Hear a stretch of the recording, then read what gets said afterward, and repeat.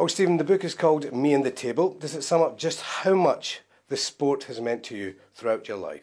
Um, yeah, very much so. Um, I came up with the title because basically throughout my whole whole life, uh, whatever was happening away from the table, I, you know, I always was happiest, and you know, when it was just me and the table, just just potting balls. Uh, even now, I, I, don't play a lot. Um, certainly don't practice like I used to, but um, when I'm just a little room table, just potting balls, making breaks, clearing up. It's it's kind of like my, my sort of happy place.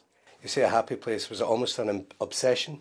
Oh, very much so. Very much so. That my whole, you know, my obsession in the beginning was just playing snooker, getting better, trying to be like my idols, like Jimmy White and Steve Davis and that things. You know, obsessed with copying them, being able to play their shots. Um, and then when I turned professional, my obsession with, with winning and uh, trying to you know, overtake Steve Davis's records. That became an obsession. Um, so yeah, I, I, I went into it, you know, 100%.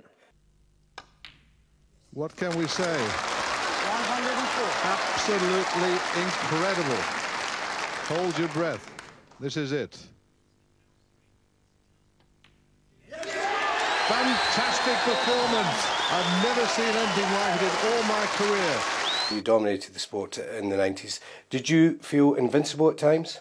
Very much so, yeah. I mean, uh, you know, I was number one in the world for eight years in the spin. I, I won the world championship five years on the spin. Um, you know, I almost took winning there for granted. Um, you know, one, one, one year I remember um, saying to my wife, you know, can you pack, pack that jacket for me. I want to wear that for the fight after after after party, after the final. You know, I hadn't even gone down and played, played the first round yet. You were that confident. I was that confident. Um, you know, but it was like um, even now, you know, people say to me, you know, where's your pipe and slippers underneath the table at the Crucible? It's like, um, yeah, it's, it's, it, even now I think it's my venue. Even now, and I'm, I'm just working there, you know, commentating and stuff. But even now, I think this is where I belong. Wow. We'll, we'll get to the commentary uh, later uh, in the interview, but let's go back a bit. Uh, you got your first snooker table at the age of 12. Mm. You made your first century break at the age of 13. You were really taking to the sport very early, yeah. but it was to the detriment of your school studies, that's right? Oh, uh, very much so. I, not, in, not in the very beginning, but certainly um, when I got to sort of 14, 15, um, you know, homework went out the window. Uh, and fortunately for me, my parents didn't really say, right, no snooker. You've got to do your schoolwork. Um, I think early on they seen it as, as something that I was going to do um, for the rest of my life. And, and also, from the age of 13, I was, I was earning money. You know, I got, I think I won the, my first under 16 tournament, I got 100 quid, which at 13 was just like amazing. Um, I gave 50 quid to my mum to put in a bank account and I, and I bought a watch with the other 50. So that was, uh, that was me starting sort of looking after myself. Um, but yes, yeah, school, you know, I left school, you know, a few months earlier than I should have, but because basically it was a waste of time. Did you feel you were developing that business brain at even such an early age? Um, maybe not a business brain, certainly a spending brain. I learned, learning that very quickly. Um, yeah, it was nice to have money in your pocket. I learned that very quickly. Um, but as I say, I, you know, I virtually supported myself from then on. Bought my, you know, buying clothes for myself, and um, it, it, it, was great. You know, you, you would win a pro am uh, snooker tournament, you'd get maybe fifteen hundred quid in, in your in your pocket, and it's just like this is great. You're talking about the balance here between school and practicing. Uh, in terms of the, how significant your parents were, uh, you played in a number of amateur events throughout the UK. You touch upon that in your book. Mm -hmm. Yeah, very much so. I'm, I'm, you know, my dad and I would, would, would, would get in a train sometimes on a Friday night down to King's Cross. There'd be a, a some pro am in Essex. Um, invariably in the beginning, I would go, I'd get beaten the first round, straight back to King's Cross again, and the train back. It was so it was it was tough, but it's that was that was how you learned. You had to play these guys. You had to get streetwise. Um, in, in, in, in snooker, and, and uh, it certainly hardened me up and, and, and toughened my game. His ambition is to win the World Championship. His ambition is to become number one, and honestly, I don't see anything to stop him. I guess one man that perhaps helped you become streetwise was Ian Doyle. Mm. Um, at the age of 16, I think you turned professional. Uh, Ian Doyle took you on. Just uh, how big an influence was he on your career? Ian was, was is definitely the biggest influence in, in, you know in, in my life. Um, he turned he turned my sort of life upside down. Um, even just after I turned professional, I was still in a club in Broxburn, um, sort of having a game with my mates, having a bit of a laugh, not really treating it as, as treating it professionally. Um, he, he, he came on a secret sort of recce and, and just to see what I was up to. And and from then on he says, look, if I'm going to look after you, if I'm going to take you know take care of everything else off the table, you know, finance your career, you're going to work for me, son. That was his thing. You're going to work. Um, so then I went, I left Broxburn, went to Stirling, and from then started a regime of sort of six, seven hours a day, seven days a week, um, and you know, that that was the influence that, that sort of changed my life. Um, but then it was just it was good because it was like it was like Ian and I against the world sort of thing, against the regime. It was Steve Davis and Barry Hearn was was the team that was dominating snooker, and we wanted to to, to take over from that. Hmm. Was he quite a formidable guy, and you saying he caught you out there, and mm. you were saying that was probably the best thing that could have happened to you? Oh, without a doubt. I mean, if if I didn't, um, you know, my, my dad, although he had, he had had, my dad had massive faith in me that, that I would win world, be world champion, even not practicing. Whether that would, would happen, I, I, I don't know. But um, yeah, that, that work ethic that Ian really drummed into me was certainly one of the secrets of my success. Hmm. Sure, you became the sport's most um, successful player ever, but you didn't enjoy that massive popularity or popular appeal like some other players, like uh, Alex Higgins or Jimmy White. Did that ever bother you? No, no, never. Why not? I, I just I, I, like winning too much, um, and I sort of took over from Steve Davis as the sort of uh, the the I w- hated is maybe a, a, strong word, but certainly the one that the, the, the fans you know as you say, Jimmy White and Alex Higgins were the favourites. Yeah. Um, and I'd go out and play Jimmy White in the final of the World Championship, the Crucible, and, and he'd have 80, 90% of the support.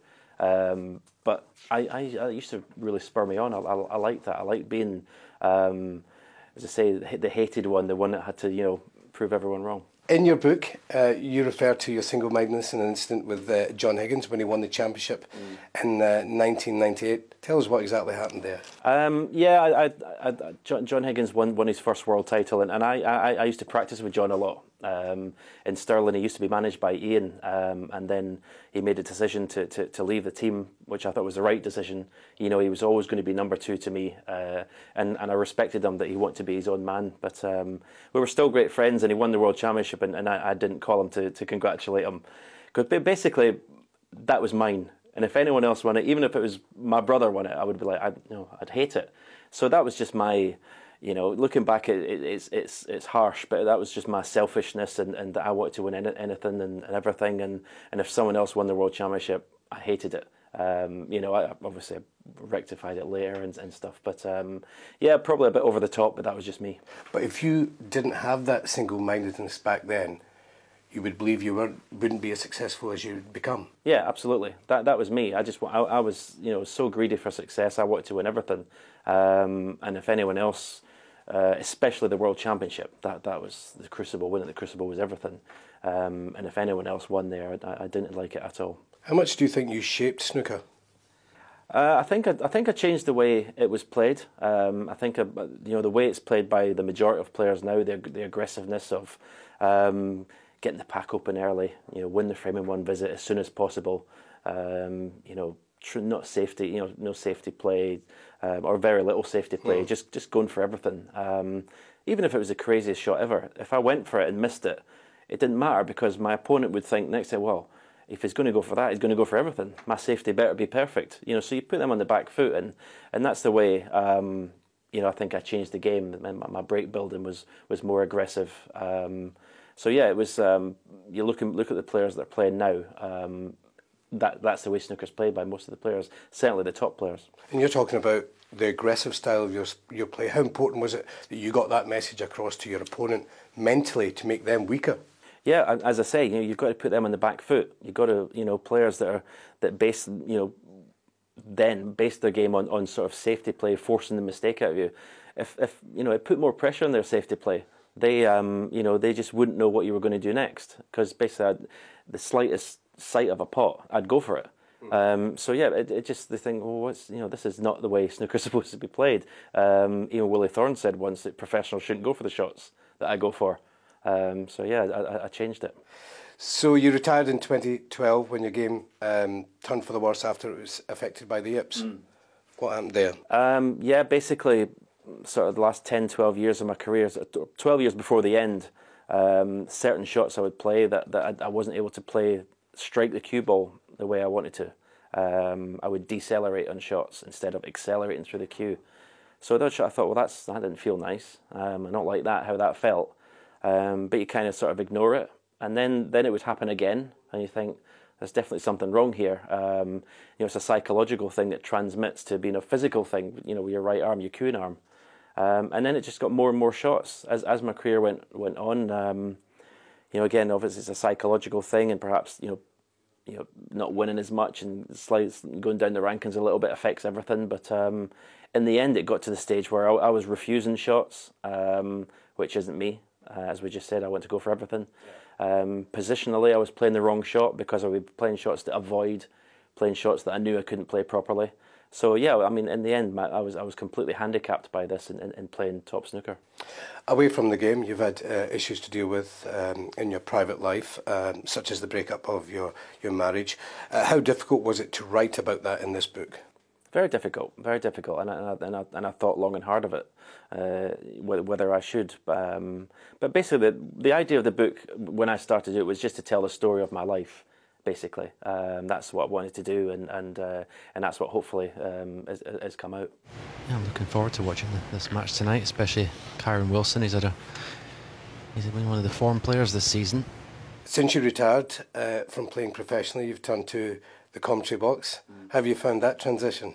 Um, I enjoy it a lot. Uh, it's not as as good as playing. Um, you know, when you're in the, in the crucible, the, the final night of the final you don't want to be in that auditorium with a microphone in your hand. You want to be in there with a cue playing. So well, you already I, had your jacket lined up before you played. I know. So I'll, I'll, always miss that. I'll always miss being in, uh, you know, in, in, in, the pit as it were, playing, you know, top competitive snooker. I'll, I'll always miss that.